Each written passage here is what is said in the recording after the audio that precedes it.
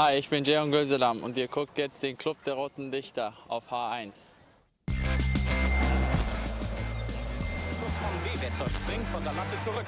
Holt an Einköpfen 4 zu 1 für Hannover.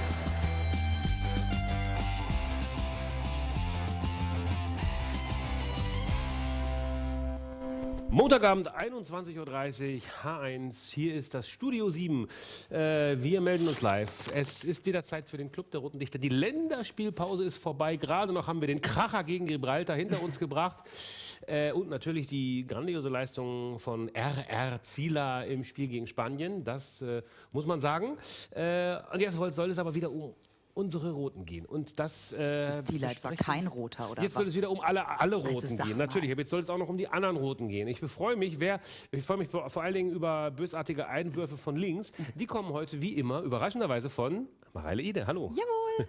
Und äh, die ganzen nur liebreizenden Einwürfe, Äußerungen und dergleichen kommen natürlich heute wieder von Matthias Wieland. Und natürlich auch Liedgut am Und Ende. auch die falschen Einwürfe, die ja immer mal wieder gerne auch bei 96 noch praktiziert werden. Wobei nicht in In längerer Spiel. Zeit, seit längerer Ja, Zeit. ja, ja, aber man hat äh, immer noch so ein bisschen Angst.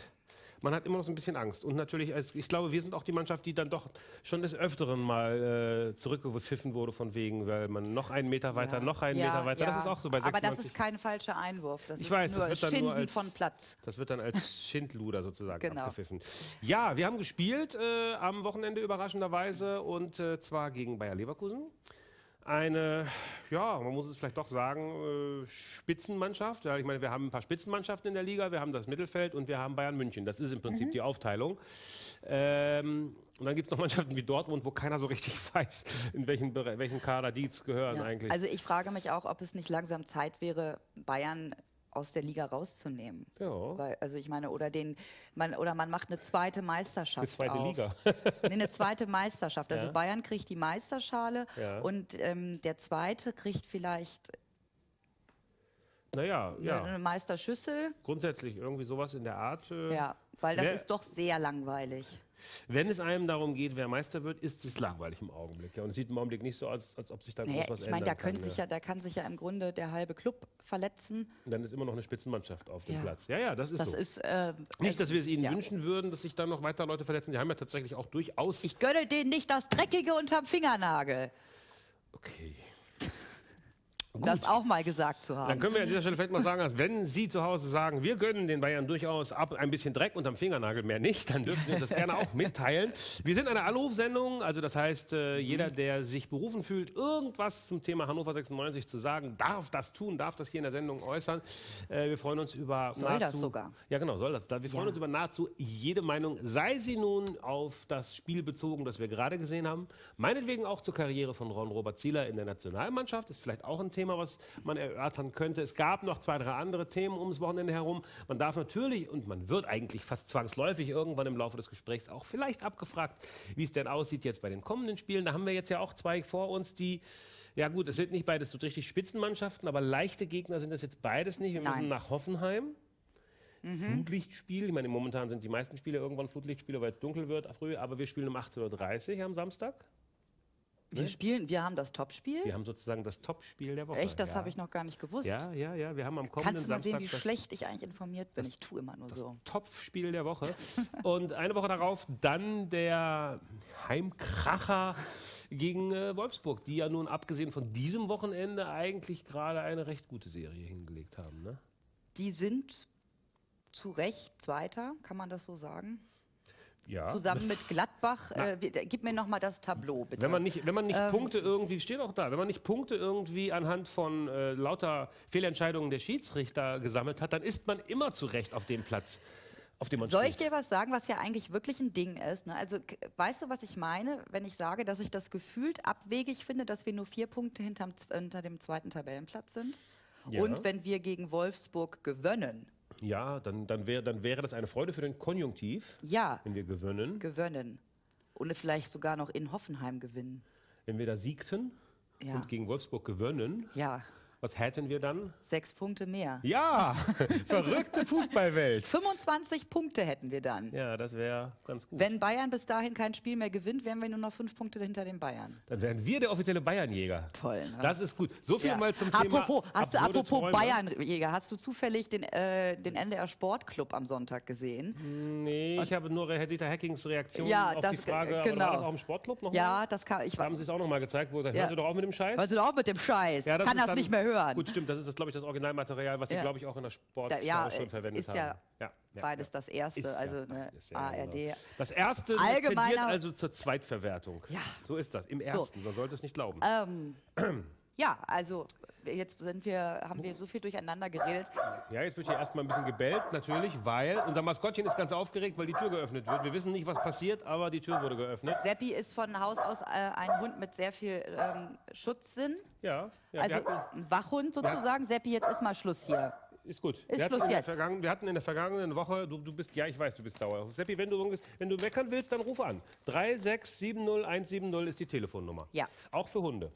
Also Ja. mit anderen Worten, wenn Sie einen Vierbeiner oder meinetwegen auch einen Zwölfbeiner oder was weiß ich für interessante Haustiere haben, die sich mit uns unterhalten wollen, dürfen Sie das natürlich auch gerne tun, solange wir Sie verstehen können.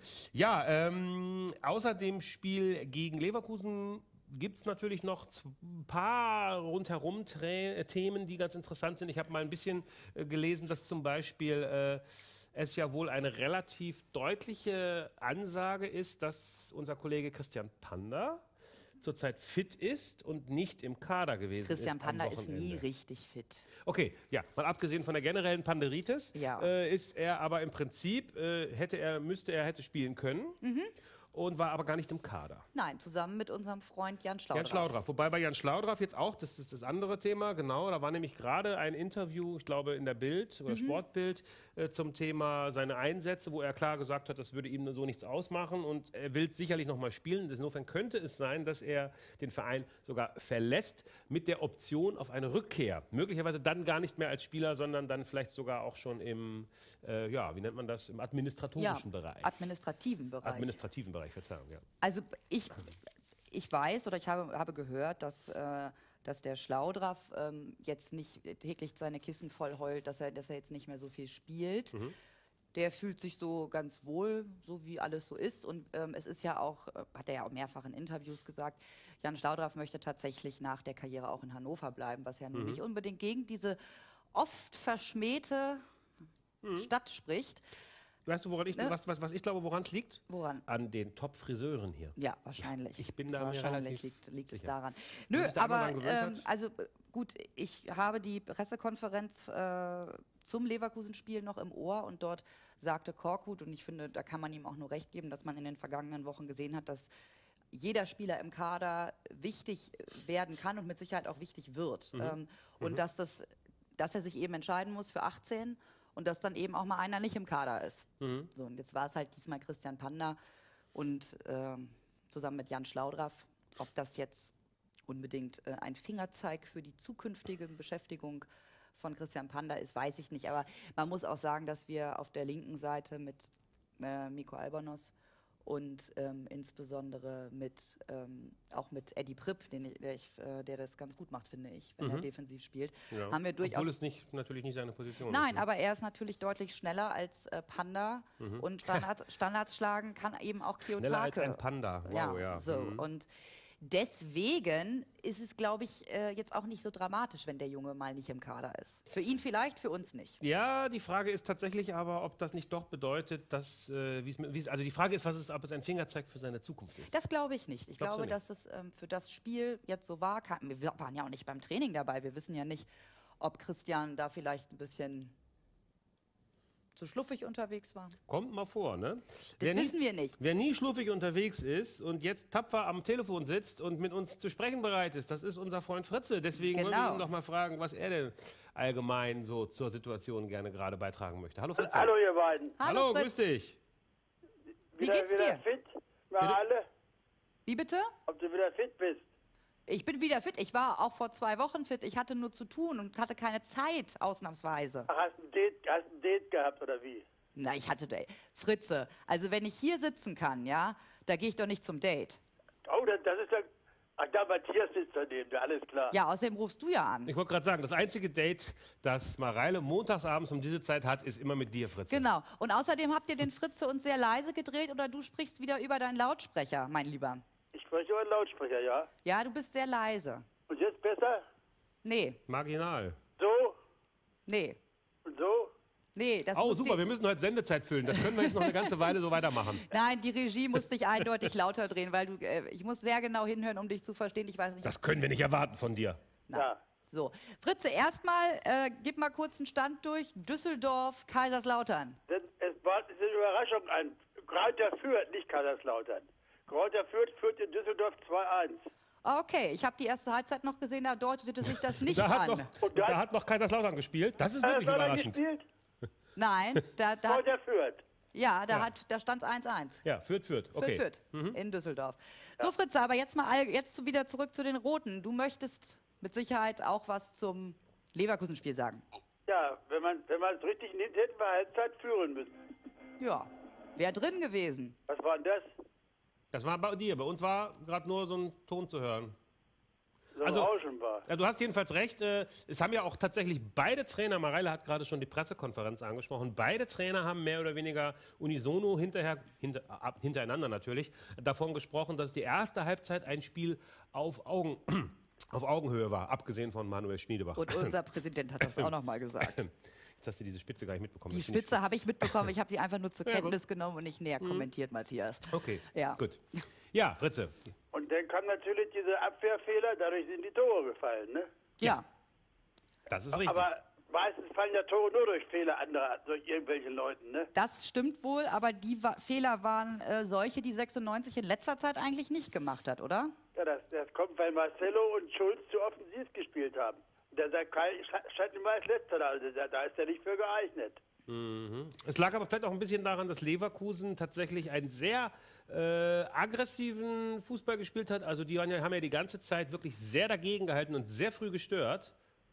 Damit sind sie, glaube ich, auch nicht so richtig klargekommen. Kann das sein? Ja, und dann haben sie einen, einen sehr schnellen Bellarabi, ne? das macht auch viel aus. Ja. Das ist viel besser als ein langsamer Bellarabi, ja. Ja, das ist logisch, ja. Ja, aber ich meine, das ist, ist, ist, das schon, ist das schon der Grund? Also ich meine, klar, du hast recht, es gab ein paar einzelne Fehler, individuelle Fehler und eine Mannschaft wie äh, Leverkusen ist natürlich dann Aber besonders wenn man das gesamte Spiel betrachtet, war der Sieg für Leverkusen schon verdient. absolut verdient. Genau, eine Mannschaft wie Leverkusen ist dann eben so Spitzenmannschaft genug, dann, wenn eher schon so zwei, drei solche Patzer geboten werden, diese auch konsequent auszunutzen anhand der Spitzenleute, die sie haben. Wir hatten ja auch so eine Szene und da hat man dann ja gleich zweimal gesehen, dass es bei uns eben an dieser Kaltschnäuzigkeit gerne auch noch mal fehlen kann. Kiyotake hat es erst nicht geschafft und Stindl war dann etwas überrascht. Gut, und für den ist Stindl ja ohnehin alles noch ein bisschen zu früh. Stindl hat äh, im Grunde drei Chancen gehabt. Ja. Und der hat, glaube ich, einen tollen Schuss. Ne? Der hatte Äh, noch in der ersten Halbzeit ein, äh, eine Schussmöglichkeit aus zentraler Position. Den trifft er nicht gut genug, den Ball. Der kommt viel Mhm. Ja. zu lasch aufs Tor. Dann hat er einen Schuss aus der Distanz gehabt. Und ich finde eigentlich, dass, wenn man die erste Hälfte nimmt und Teile der zweiten Halbzeit, dass die Unterschiede zwischen 96 und Leverkusen eigentlich gar nicht so groß gewesen sind. Bis auf, dass Leverkusen deutlich effizienter war Ja, und, hinten und hinten weniger Fehler gemacht hat. 96 hatte, hatte Ja. ausreichend Chancen. Ich verstehe nicht, warum in der neuen Pressestand 96 hätte kaum Torchancen gehabt. Ich weiß nicht, was die für ein Spiel gesehen haben. Ja, das stimmt nicht. Also, also Chancengleichheit war schon da. Aber die Ja. Cleverness war bei Leverkusen zu erkennen. Ne? Wie bitte? Die Cleverness war bei Leverkusen. Ja, natürlich. Und da hast du eben gesehen, was der Unterschied dann ist. Ja. Ne? Wenn die einmal in Führung sind. Ich meine, 96, war- als das Anschlusstor fiel, ne? da hatte man ja das Gefühl, so, okay, jetzt kommen sie nochmal. Wenn du dann natürlich dann so einen Fehler machst. Ne? Marcelo, finde ich, hat bis dahin super gespielt. Ähm, Mhm. Macht dann diesen einen Fehler. Ich glaube, er, er verschätzt sich da oder es war ein leichter Stellungsfehler. Ich bin mir jetzt nicht ganz sicher, weil ich die Szene nicht nochmal gesehen habe. Mhm. Aber wenn das dann das 1-3 nicht fällt, hat 96 eine reelle Chance, da einen Punkt äh, zu machen. Aber ich finde, man hatte trotzdem so, das ist die positive Sichtweise, aber ich finde, man hatte trotzdem während des Spiels ironischerweise das Gefühl, die kriegen ja nie ein Tor hin. Und sie haben sogar eins hingekriegt und trotzdem hatte man noch das Gefühl, nee, das kann nichts werden mit Toren. Echt? Und das liegt, ja, ich glaube, weil bei unsere, unsere Torchancen im Spiel zu sehr durch Zufallaktionen äh, entstanden sind. Hm. Mir, fehl, mir fehlen die Flanken, mir, fehlen die, mir fehlt da das, das, das ideenreiche Mittelfeld. Weißt Okay, du, ich das hier, ich habe ich hab das Problem hier ausgemacht. Hier liegt es nämlich. Vielleicht kann, man das mal, kann die Kamera das mal zeigen. Das ist nämlich unser, eigentlich unser Problem. Da ist es begraben. Hier, Hannover. Mittelfeld, das ist es. Also genau genommen, so hier, ne? Wir haben momentan überhaupt kein richtiges. Das ist es nämlich eigentlich. Wir sollten mal im Mittelfeld vielleicht mal anrufen und die Leute da fragen, was sie da machen. Also ich möchte aber dann nochmal exemplarisch, dass 1 zu 0, das nicht gegeben wurde wegen Abseits. Ja, aber zu Recht wegen Abseits. Also das muss man Ja, sagen. äh, Es war ja leider Abseits. Das war schön, das stimmt. Ja, aber das war, fand ich, ganz, ganz toll herausgespielt und ich finde, 96 hatte zwischendurch immer wieder Passagen, wo sie wirklich sehr gut gespielt haben, also auch spielerisch hübsch anzusehen. Ich weiß aber, was du meinst. Ne? Ich will es das auch nicht ganz alles es hat schlecht reden. nicht diese, es hat so nicht zu bedenken diese, diese Struktur wie bei einer Mannschaft wie Leverkusen und dahin ist es eben noch ein Schritt. Es hat auch nicht die Struktur, die es bei 96 tatsächlich auch schon öfter mal hatte. Das ist eher das, was ich Aber ja. traurig finde. Dass wir nicht die Struktur wie Leverkusen oder vielleicht sogar noch andere Mannschaften haben, will ich gar nicht ankreiden. Aber mir, mir fehlt so ein bisschen eine Spielkultur, die wir in Hannover auch nicht nur in unserer Hochzeit im Europapokal, sondern Ja. auch schon in anderen Phasen durchaus mal hatten. Und das fehlt mir tatsächlich ein bisschen. Aber ich glaube, dass wir da auch durchaus wieder hinkommen. Fritze, vielleicht äh, magst du da deine Meinung mal zu sagen. Ähm, das letzte Mal, als wir gesprochen haben, da war die Situation, glaube ich, insgesamt furchtbar. Ja, Kann ja. das sein? So, jetzt ist die Situation insgesamt etwas netter. Was, was glaubst du denn, wo die Potenziale dieser Mannschaft liegen? Meinst du, dass Korkut mit ihr auf dem richtigen Wege ist, jetzt auch da die ganzen Verletzten zurückkehren? Ja, also ich bin, ich bin der Meinung, die, die Mannschaft ist langsam auf den Trainer eingestellt und, und weiß, was er will. Mhm. Nur äh, er hat noch die richtige Aufstellung noch nicht gefunden. Okay. Denn äh, alle drei, Briat, äh, Cleotake und Joselu, also einer muss davon raus, nicht? Also da muss schon mal einer auf der Defensive ein bisschen mehr macht, nicht? Und Ja. das, wir, wir können nicht nur drauf losstürmen da. Nee, Da das, kommt nichts mehr raus. Kein Doppelpass, kein gar nichts. wer kann nix? Kein, kein Doppelpass. Doppelpass, kein gar nicht. Ach Ich so. vermisse Doppelpässe und, und das, Ja, so richtig viele Doppelpässe schöne habe ich auch gar nicht gesehen. Nee, Also, bei insofern- Leverkusen aber auch nicht. Das Tor war eine Standardsituation, Kopfball, wie, wie schon öfters passiert ist da. Mhm. Entweder Schulz hält den Kopf hin oder, oder Marcelo hält den Kopf hin. Diesmal war es Göselam, der den Kopf hingehalten hat. Oh. Aber ich bin der Meinung, die Mannschaft wird sich steigern. Ja. Aber Was ich glaubt möchte mal Folgendes sagen. Da hat letzt, vor 14 Tagen so ein junger Mann angerufen, der hat schon 30 Punkte vorausgesagt. Hoffentlich meldet er sich noch mal. Ja, der wollte sich, der wollte sich, glaube ich, äh, spätestens melden. Dann, er hat es, glaube ich, vorher Nach gesagt. Freiburg-Spiel, ne? Ja, ja, bis zum, bis zum, bis zur Winterpause sozusagen. Das heißt, der wird sich spätestens dann nochmal melden. Also, ja, ist, ja noch, ist noch machbar, oder? Ist es rech- rechnerisch noch machbar? Ich weiß es gar nicht, oder nicht? Ja, aber Hoffenheim und Wolfsburg wird genauso schwer. Also. Meinst du, hat das zwar ist die genauso schwer? Das wäre meine nächste Frage gewesen. Was glaubst du denn, wie diese beiden Spiele werden? Stück- Ich, ich, ich, also mit dem Sieg rechne ich auf keinen Fall, bei beiden Spielen nicht. Wie bitte? Mit dem Sieg rechnest du nicht. Ich Rechnest rechne du mit nicht? kein, mit, in keinem Spiel mit einem Sieg. Okay, äh, kannst du das auch begründen? Ja, weil ich Hoffenheim und Wolfsburg für zu stark halte. Jetzt will ich noch mal kurz mir eben die Tabelle anschauen. Hoffenheim ist derzeit mit 17 Punkten Tabellenachter. Hat, oh, wie wir, ein negatives Torverhältnis, was an dem letzten Spiel von Hoffenheim liegen mag. Ja, das könnte durchaus sein, ja. 17 zu 18. Ja, also ich meine, das ist jetzt auch nicht so, dass man irgendwie, glaube ich, äh, vor Angst mit den Knien schlottern muss. Nein, das nicht, auf keinen Fall. Also ich glaube, dass Wolfsburg vielleicht äh, wieder erwarten, das leichtere Spiel für uns wird, weil wir uns gegen Wolfsburg zu Hause eigentlich immer recht gut schlagen. das, das, das, das stimmt. Ne? Hoffen wir doch mal, dass die jetzt gerade in so eine kleine Minikrise reinschlittern. Obwohl ich Herrn Hacking ja durchaus eigentlich allen Erfolg wünsche, wün gönne. Ja. wünsche, gönne, gönne. Aber da kommt wieder dieses das Wolfsburg-Problem mit hinzu. Ne? Also dass man bei Wolfsburg immer Schwierigkeiten hat, denen irgendwas zu wünschen. ja, Ich bin heute auf Krawall gebürstet. ich merke schon, ja. Ich bin auch ärgerlich, dass Werder gestern verloren hat. so. Oh, da bin ich auch ärgerlich drüber. Siehst du, Fritze, da sind wir uns immer einig. Ne? Also, das war ja vor allem zwei Gammeltore. Ja, vor allen Dingen war das ein gruseliges Fußballspiel. Ja, das war Not gegen Elend, das hat der Reporter auch gesagt. Ja, das war ganz schlimm. Tja. Und vor allen Dingen haut sich dann Werder das 2-0 noch selber rein. Mehr Ja, oder weniger. Das, ein- das 1-0 war ja auch eine Vorlage vom, vom, vom Werder-Spieler, Kopfball. Ja. Naja, gut, aber das soll nicht unser Problem sein, was bei Werder und beim HSV los ist. Ja, Fritze, du hast dich ja schon äh, gerade geäußert zu, äh, was du glaubst, wie die beiden Spiele äh, werden. Möchtest du dich da vielleicht auf einen Tipp festlegen? Ja, ich, ich hoffe, also in, in, insgeheim hoffe ich, dass wir in, in, in Hoffenheim unentschieden spielen und Wolfsburg schlagen. Ja. Okay, das ist doch schon mal was. Also vier Punkte dann. Also da, da, da rechne ich sogar stark mit. Aber es wird schwer, schwer, schwer. Dagegen Ja. haben wir nichts. Also, dass es schwer gegen wird, dagegen haben wir gar nichts, Nein. wenn am Ende vier Punkte bei rauskommen. Gegen Wolfsburg haben wir die letzten Z- Jahre aber auch gut gespielt, Ja, auch wenn stimmt. sie besser waren als wir. Stimmt. Ja, ja. Fritze, jetzt möchte ich dich noch eins fragen. Du hast ja mit Sicherheit auch äh, die Länderspiele geguckt, oder? Ja, Wie hat dir denn unser Ron gefallen gegen Spanien? ja, besser kann man nicht spielen. Fandst du gut? Ja, vor allen Dingen die Abschläge kamen weitaus besser, als wenn er bei 96 spielt. Hat, bei 96 kommen die Abschläge immer auf eine Seite. Hier hat er mit links und mit rechts geschossen und fast immer auf den, auf den eigenen Mann angekommen.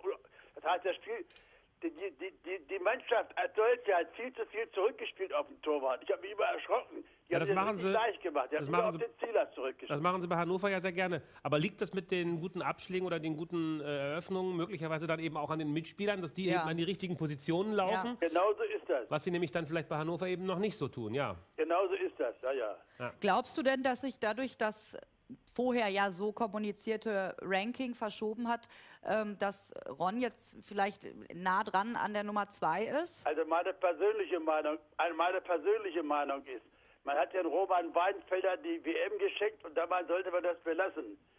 Wir Ja, haben- der wird wir ja auch haben- nicht jünger. Wir haben zehn gute junge Torleute. Da brauche ich keinen alten Opa mehr auflaufen zu lassen. Naja, aber Weidenfeller haben sie ja nun wirklich, glaube ich, wegen der Erfahrung mitgenommen, ne? Ja, und darum sage ich, darum- da, dabei sollte man das belassen dann. Der ist 34, was soll das? Ja.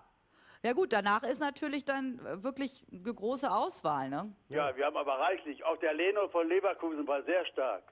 Das stimmt, aber man muss, glaube ich, oder man kann, glaube ich, schon ja relativ sicher sein, dass sich, dass sich Ronda wirklich etabliert hat Ich denke auch, ja. in der Mannschaft und ähm, glaube auch sein Standing da hat. Also ich glaube, wir müssen nicht fürchten, dass er jetzt irgendwie durch zwei Jüngere verdrängt wird, oder?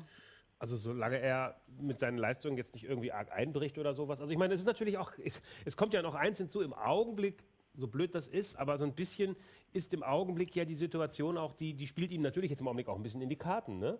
Also Ja. ich meine, in Hannover hat er jetzt gerade eine relativ gute, hat er nun wirklich eine gute Saison, Ja. hat viele Spiele zu Null gemacht, hat aber auch eine einigermaßen ruhige Situation innerhalb der Mannschaft. Ja. Roman Weidenfeller hat ja nun momentan im Zweifel andere Probleme sozusagen. Das ne? Also Also der, äh, haben sehr große Probleme. Wobei natürlich bei Dortmund sehr wichtige Spieler verletzt sind. Ne? Ja, wenn der Hummels da hinten nicht, nicht steht, dann ist alles. Naja, und jetzt ist Reus schon wieder die kaputt. Können auch ne? nicht so, die können eben dann auch nicht so einfach ersetzen, wie das zum Beispiel der FC Bayern kann. Ähm, aber wir haben ja noch einen Neuzugang zu vermelden. Abgesehen jetzt mal, ähm, also ich, ich das, ähm, Down. Fritze, du hast, es- hast du es mitbekommen? Weißt du, von wem ich rede?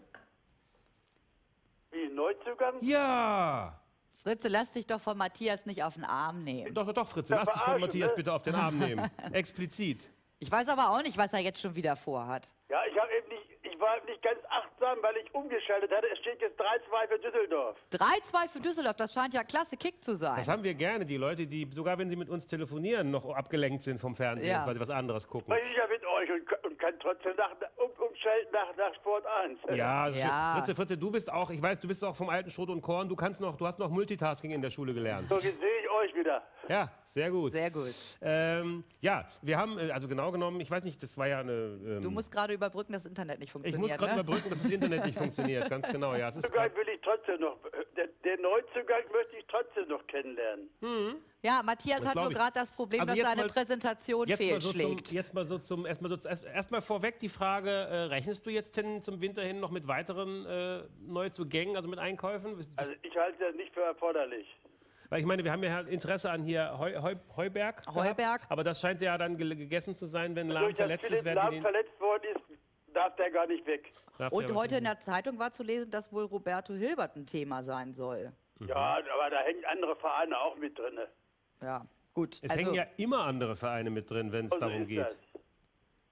Lassen wir uns überraschen. ja, Also Fritze, ich hab's gleich. Also mir ging es natürlich vor allen Dingen um ähm, Salif Sané, der ja jetzt seit dem Wochenende, also beziehungsweise seit heute, offiziell wieder bei der Mannschaft mittrainieren kann. Genau. Das ist, glaube ich, seine 84. Chance, oder ich bin mir nicht so ganz sicher. Er war glaub, mal die rein, mal raus, mal rein, mal raus.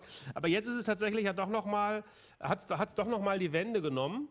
Und äh, Den würdest du... meinst du als Zu- Neuzugang? Bitte? Das war der Neuzugang. Naja, genau genommen war das hier mein, mein Neuzugang. Ich weiß nicht, ob du das mitbekommen hast. Ähm, vielleicht kann das Foto das irgendwie ranholen. Das die, Kamera, die Kamera das ranholen. Mal schauen. Das hier ist das, das Foto. Ich weiß nicht, ob man das gesehen hat. Ah, ja, doch, ja. Ach, du meinst Udo? Ja. Uns Udo. Lindenberg, ja, da, Udo da Lindenberg. Genau. Von Martin Kind auch nochmal als äh, zur Not fürs Tor, glaube ich, geholt. Sind ja Kumpels, ne? Sind ja absolute Ja, ja, Kumpels, ja. tragen auch beide Hut. Ähm, nee. Ähm, ja, aber Sané, ist das jetzt nochmal was, wo man sagen kann, das wird vielleicht auch nochmal qualitativ durchaus was nach vorne bringen? Der, der soll aber schwach gespielt haben bei, bei, der, bei, der, bei der zweiten in, in, bei Eiche Handewitt, wo sie 3-0 verloren haben. Also da kann ich dir aus, äh, kann ich dir sagen, dass der Trainer, mit dem ich gestern Abend nach dem Spiel telefoniert habe, äh, Sané nicht ausdrücklich genannt hat. Ähm, das lag aber daran, weil die gesamte Mannschaft scheiße gespielt hat. Also, wir Er- wollen doch, dass er- er mannschaftsdienlich ist. Er also, sagte, er sagte, einige meiner Spieler haben dort ihr Trikot spazieren getragen. Ja, so ungefähr, ja. Und Mhm.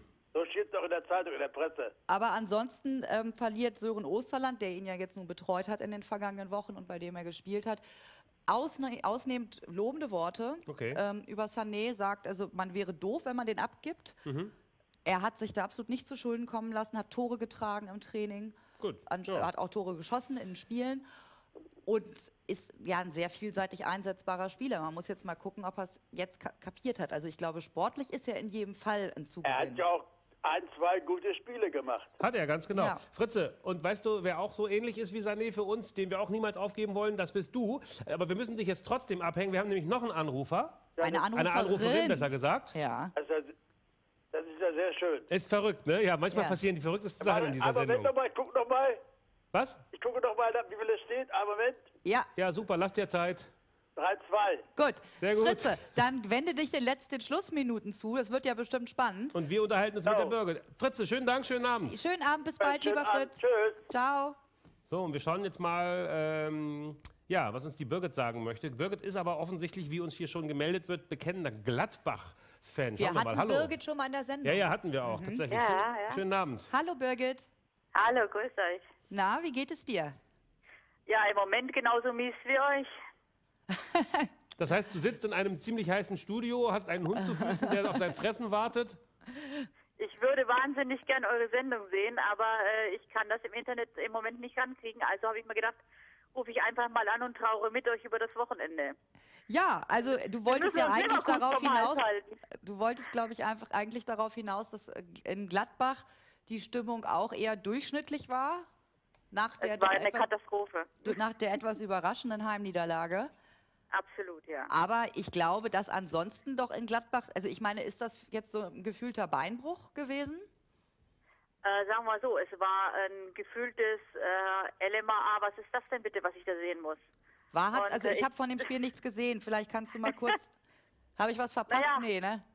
Ja, äh, du hast äh, spielerisch überhaupt nichts verpasst, weil das mit dem Trikot äh, spazieren tragen, das könnte durchaus auch, äh, was, was in Hannover stattgefunden hat, scheinbar, hat bei uns auch stattgefunden. Wir haben sofort äh, am Anfang ein Tor gemacht. Das zweite Tor war abseits, das ging nicht. Und dann hat man gedacht, hups, haben die alle zwölf Mann ausgetauscht. Was ist los, ne? Also es war eine Katastrophe und plötzlich hieß das 3-1 und äh, teilweise sind die Leute vorher aus dem Stadion, was ja ein absolutes No-Go ist, was ja in Gladbach normalerweise nie vorkommt. Nee, also eigentlich habe ich doch immer Hölle. So den Eindruck, dass dort eigentlich das Publikum doch sehr ähm, ja, enthusiastisch ich- hinter seiner ja. Mannschaft steht. Ja, absolut. Und dann gucke ich meinen zweiten Lieblingsverein und gucke nach, wie hat dann wenigstens Hannover gespielt, haben die uns jetzt überholt und dann, ups, äh, genau, Genau derselbe Mist, ne? ja, aber wir sind nicht, wir sind nicht ärgerlich aus. Also Nö. ich bin enttäuscht aus dem Stadion gegangen, weil das nicht nötig war. Also natürlich Ja. war das nicht, war das verdient für Leverkusen, aber äh, Es, es war aber eben tatsächlich, es, genau, es war kein Spiel, bei dem man hinterher Sagt, richtig Gott, haben sauer die war. scheiße gespielt genau, oder oder, so, oder ne? mit ganz schlechter Stimmung rausgegangen ist und gesagt, naja, kann, Also ihr sowas muss wart passieren. Ihr wart dann zufrieden? Ihr wart dann zufrieden, dass ihr gesagt habt, okay, äh, gegen Leverkusen war nicht mehr drin oder so und Gott sei Dank ist es nicht schlimmer gekommen oder wie war das? ja, nee, also da, nein, sehr viel mehr Chancen hatte Leverkusen, glaube ich, jetzt eigentlich auch äh, nicht. Die, Also haben, Ja, okay. die waren sehr effizient. Also Leverkusen war, war, also Leverkusen war, das muss man klar sagen, waren, waren sozusagen besser. Ja, das haben war deswegen auch ja, gewonnen. war und, verdient. Und im Prinzip ist es jetzt aber, wenn man es jetzt mal so rein auf dem Papier betrachtet, ist es ja auch keine richtige Überraschung, dass Leverkusen besser ist als Hannover. Wie gesagt, haben wir ja eingangs schon gesagt, dass wir uns im Prinzip mit Leverkusen in Normalform oder in sogar vielleicht in Bestform auf keinen Fall messen müssen. Ah nee, also. Also von daher- Aber wir haben zum. Beispiel, als wir zu Hause gegen Gladbach verloren haben, 0 zu 3, das war, äh, das war katastrophal. Aber da Ja, erinnerst das du dich bestimmt ganz gerne dran. Und das, Das Spiel gegen Leverkusen war völlig in Ordnung, aber Leverkusen war halt besser. Ja. Ja, okay. Also wenn man das als, als äh, Hannover-Fan zugeben kann. Äh, ich muss auch sagen, leider Gottes, man sagt auch, äh, Frankfurt wäre besser gewesen. Man sagt das. Ähm, ja, man sagt das. Also ich, wie gesagt, ich war live im Stadion. Ich habe mir gedacht, Halleluja, was ist denn da los? Äh, die sind so, die, war- so schlecht habe ich die, also wirklich, und wir waren so schlecht. Also, war Aber sag mal, also ich äh, sage jetzt mal, Birgit, meinst du, sagt, äh, Entschuldigung, Birgit, meinst du, dass sich da jetzt bei Gladbach vielleicht gerade so eine kleine Krise anbahnt? Weil ich habe jetzt das Spiel gegen Dortmund vor zwei Wochen war es, meine ich. Ne, vor zwei Wochen war das. Ich- Boah, die Zeit, das ja, weiß ich, ja, das weiß ich nicht. vor der Länderspielpause. Ja. Das, ähm, also da Hast war ich, gesehen? äh, da war ich ehrlich gesagt entsetzt, weil Ach, da fand ich die gar nicht mal so schlimm, weil ähm, Ich fand's meine schlimm. persönliche Meinung ist, ohne, ohne, ohne dass äh, ein, ein Gladbacher ein Tor schießt, hätte Dortmund ja auch nicht gewonnen. Ach haben ja, auch nicht geschafft. Ja, nein, natürlich nicht. Aber das liegt ja eher, lag ja in dem Spiel eher daran, dass äh, Dortmund einfach momentan nicht dazu in der Lage ist, das Tor wirklich zu treffen. Jetzt nehmen wir jetzt mal das Paderborn-Spiel aus, aber Mhm. Ja, das ja. war ja da bis dahin Ja, so. okay, das war ja Aber katastrophal. ähm, da Dortmund kam ja von Gladbach überhaupt nichts. Ich meine, ich erinnere mich an, das, an den glücklichen 96-Sieg in Dortmund, aber da hatte 96 schon noch mehr vom Spiel als Gladbach. Deswegen das war ich war echt erstaunt. Ich habe gedacht, was ist mit denen los? Das hätte ich überhaupt nicht Ja, erwartet. Und ich habe mir gedacht, äh, verdammt, äh, warum nutzen die, die, die kommen ja nicht mal über die Mittellinie. Scheinbar hat Dortmund auch Mittel gefunden, die so kalt zu stellen, dass das gar nichts mehr ging. Erst Ja. wie dann ein Reus vom Platz geht, äh, merkt man dann auch, wie weh das tut. Ne?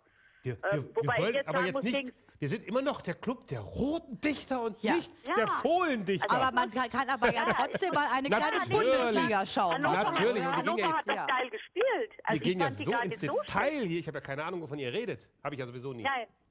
Nee, Dortmund also wenn, gegen wenn. Hannover jetzt, nein, ich muss jetzt sagen, Hannover, äh, äh, also da muss ich sagen, schade, dass die verloren haben. Ne? Also die haben doch nicht schlecht gespielt. Seid ihr Ja, der Meinung? Nö. das, haben, ja, das ist richtig. Sie haben nicht schlecht gespielt, aber äh, eben dann doch individuelle Fehler gemacht. Und Birgit- das reicht ja dann schon. Ja. Ja.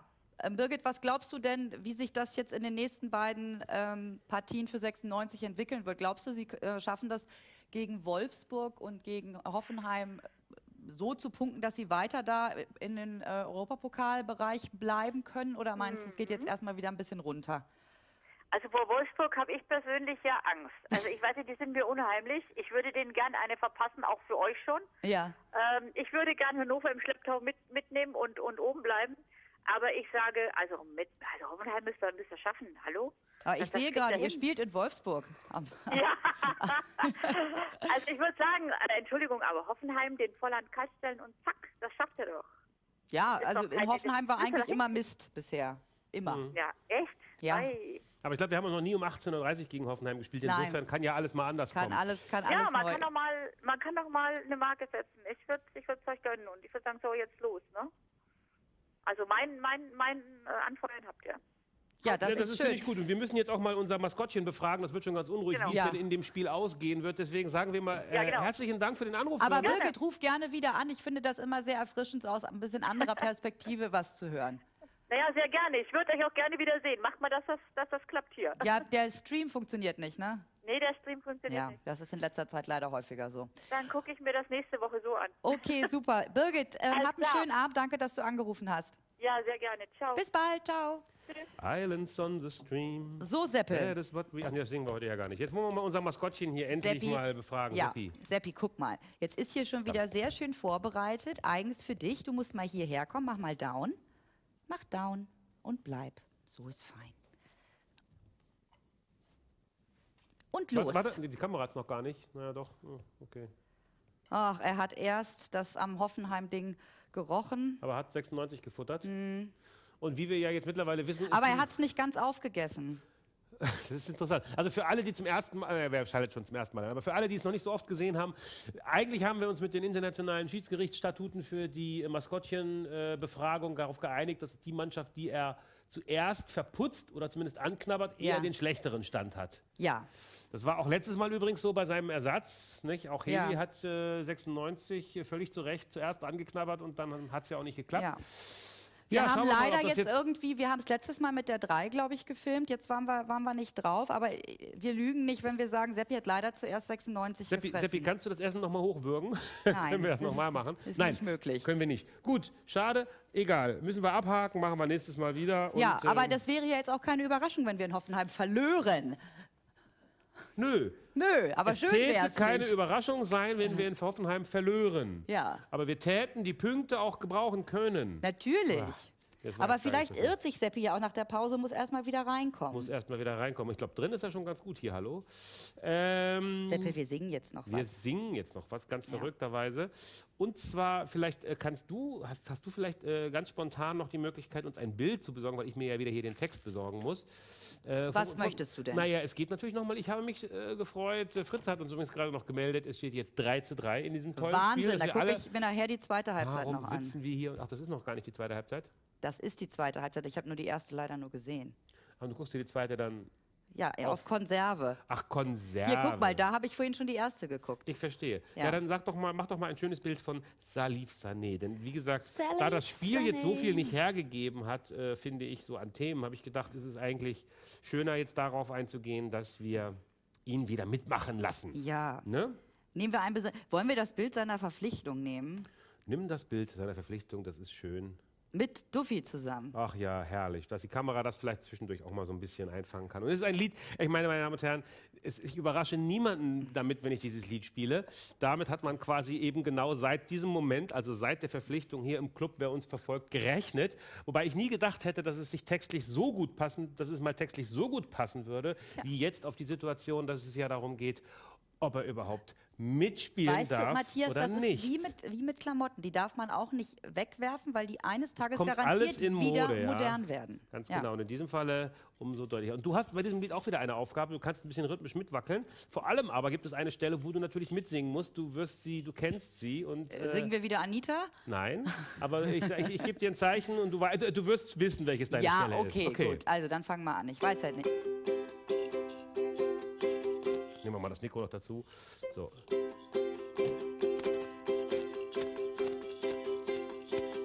Schon eine Ahnung?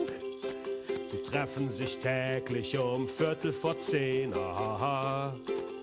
Oh yeah. Auf der Mehrkampfanlage kannst du sie rennen sehen. Aha. Oh yeah. Und blasen zum Sturm auf das Zielersche Eck. Mit Außenriss, Doppelpass und Hackentrick. Da sagte der Trainer, ich hab einen Plan, ey. Aber bitte mit Sahne. Jetzt kommt deine Stelle, der Chor. Das kann ich nicht so hoch. Aber bitte mit Sahne. Siehst du, du kannst das viel besser als ich. Sie schießen und rennen, dann holen sie schon. Aha. Oh yeah. Den Meisterschaftstitel auf der Playstation. Aha. Oh yeah. Sie hetzen und fetzen, fast geht nichts mehr rein. Nur ein Tor pro Spiel, Minimalismus muss sein. Dass die Mannschaft den Weg nach Europa sich bahne. Aber bitte mit Sahne. Versucht es mit Flanken und von mir aus Alane.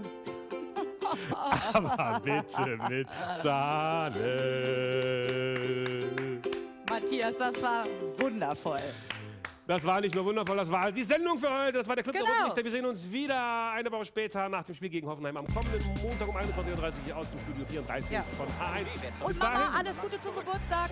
eine schöne Woche von mir. Äh,